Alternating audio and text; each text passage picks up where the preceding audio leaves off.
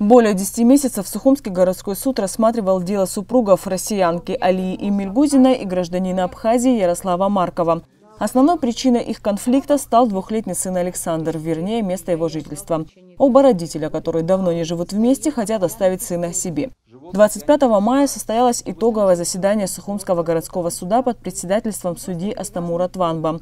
В дело вступили адвокаты Жанна Шенкау, представляющая интересы Эмиль Гузиной, и Кристина Габеля и Тея Чагунава, представляющие в суде Маркова. После их прений слово было передано Илье Эмильгузиной, которая отметила, что исковое заявление к Ярославу Маркову о расторжении брака и определении местом жительства их ребенка рядом с ней имело ряд оснований. В 2017 году вышла замуж за Маркова Ярослава Дмитриевича. Жили в городе Сухум в доме свекрови и заловки. Муж через пару месяцев после женитьбы начал показывать свой характер.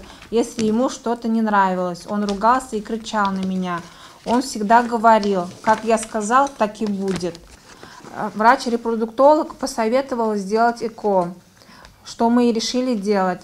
Большую часть семейной жизни с Марковым я находилась у родителей, причем по настоянию самого супруга и его матери. При общении по телефону я слышала от них упреки в том, что я не женщина не способна родить ребенка. Но желание иметь ребенка пересилило все конфликтные ситуации. Мне пришлось устроиться на работу, чтобы заработать деньги на ЭКО. На то, что я забеременею, врачи давали шанс 16%. Еще выявили предраковое заболевание. На второй ЭКО я накопила работы в поликлинике терапевтом. Муж мне никакой помощи не оказал. Ярослав постоянно оказывал на меня психологическое давление, угнетал меня, не давал спокойно воспитывать ребенка изводил меня, ругался, замахивался на меня кулаками, чтобы ударить, пугал меня. Систематически пил алкоголь. Он и так был импульсивным, а после выпивки становился агрессивным. С 1 марта 2021 года я не имею возможности находиться со своим ребенком. Элементарно не могу погулять или уснуть, обнявшись своего сына. Но несмотря на то, что мы проводим так мало времени вместе, Саша знает, кто его мама. Э, это мой долгожданный, выстраданный, единственный ребенок, которого я родила в 38 лет и которого 9 месяцев я носила под сердцем. Ярослав так жестоко поступил, разлучив нас, отнял маму ребенка, совсем не подумав о нем.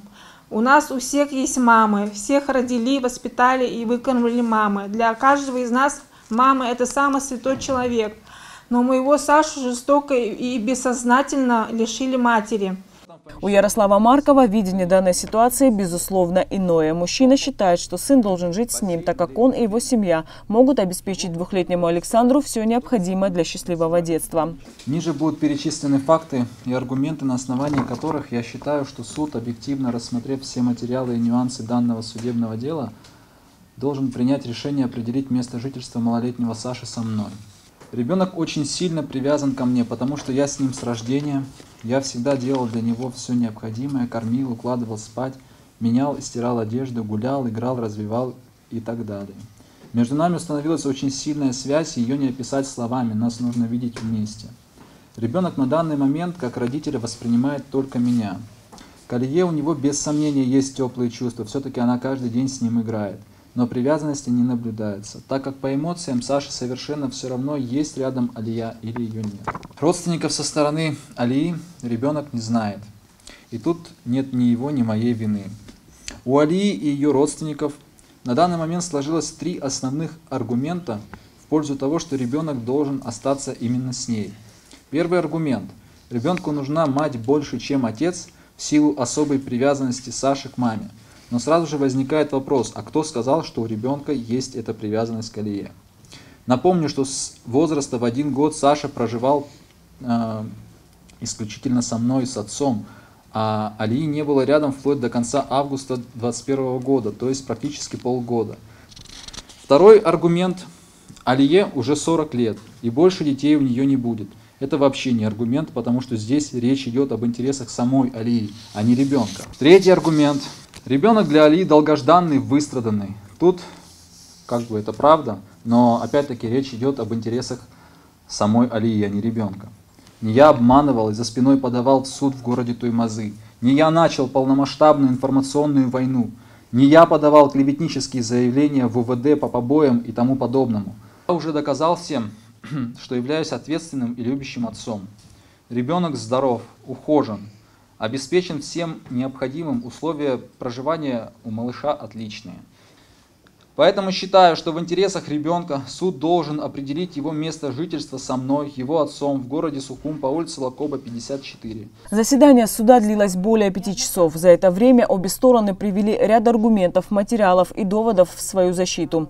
Так, Илья Эмильгузина требовала расторжения брака и определения местом жительства двухлетнего Александра с ней в Республике Башкортостан, а также взыскание алиментов и принудительную передачу сына ей. В свою очередь Ярослав Марков во встречном иске требовал расторгнуть брак и оставить сына с ним. Судья Стамуртванба объявил часовой перерыв, после которого зачитал решение Сухумского городского суда. Руководство статьями 192-197 ГПК РА суд решил Исковые требования Эмильгузина Алии Фархиддиновны к Маркову Ярославу Дмитриевичу о расторжении брака, определении места жительства ребенка, взыскании алиментов и принудительной передаче малолетнего ребенка удовлетворить частично – Исковые требования расторжения брака между Эмильгузиной и Марковым удовлетворить. Расторгну брак между указанными лицами, зарегистрированным Сухумским ЗАГСом 20.07.17 года, актовая запись номер 112. Определение места жительства малолетнего Маркова Александра Ярославовича 05.03.2020 года рождения удовлетворить. Определить место жительства Маркова с матерью Эмильгузина по месту ее проживания, го, город Туймази, улица Комарова, дом 2А, квартира 27, Республика Башкортостан, Российская Федерация. Исковые требования взыскания алиментов с Маркова удовлетворить. В удовлетворении исковых требований о принудительном отбирании малолетнего Маркова Александра Ярославовича у отца Маркова, матери Эмильгузина, отказать. Расторгнут брак между указанными лицами, зарегистрированным 20.07.17 года ЗАГСом города Сухум.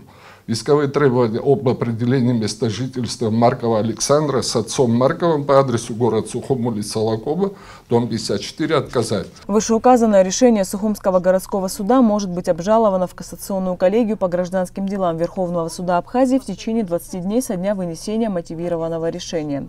Как сообщила нам по телефону адвокат Тея Чагунава, Ярослав Марков этой возможностью воспользуется. Анастасия Никонова и Нала Гухава. Абазатовая.